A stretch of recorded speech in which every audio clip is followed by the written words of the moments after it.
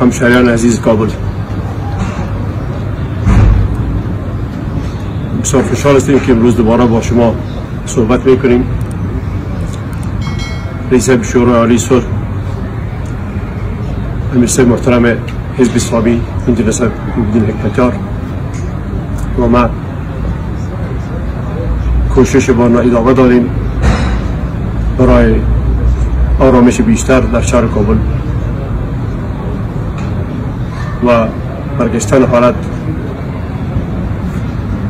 به روزمره و عادی انشاءالله تعالی که کوشش ها نتیجه بده. با بزرگان محترم تحریک اسلامی طالبان در تماس هستیم. صحبت های مصبر داریم. در موارد لازم با هم صحبت کردیم. همکاری های بسیار خوب جریان دار انشاءالله تعالی که وطن عزیز ما خاک ما صاحب صلح و امنیت و خوشحالی سراسری و دائمی باشه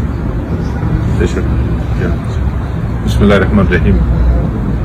همشهریان محترم کابل السلام علیکم و رحمت الله و برکاته بیشتر جناب رئیس دنیا داوری کردن اساسی ترین کوشش ما و سعی ما و تلاش ما در این مرحله. خارج از هر نوع ملاحظه دیگر آرامش مردم شهر است. می‌دانیم که با تغییراتی که پیش مردم در یک وضعیت دشوار قرار گرفتن. امیدوار هستیم که تماشایی که داشتیم در این زمینه و در رشته کلان در مملکت مفید و مثمر واقع شود. خداوند انشاءالله خیر.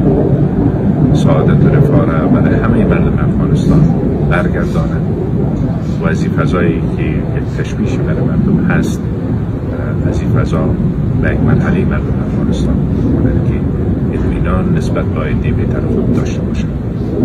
هیچ نوع سعی برای اهداف شخصی در وجود نداشته و نداره با تعداد دیگه از بزرگای کشور در تماس هستیم. در داخل کشور سران قوم و همه اینها در آخر هم آرزوی همه یکیست که خیر مردم افغانستان. و سلام علیکم دا اطمینان ولرئ چې هغه څه چې زموږ د افغانستان په وسه او د رئیس صاحب د عالي شورا مسؤلي د رئیس صاحب وسه د نورو مشرانو په وسه دا کوشش جریان لري أو إن شاء الله تعالی چې څنګه چې رئیس وویل د مملکت خیر أو خوشحالي أو فلاح. تبع مننه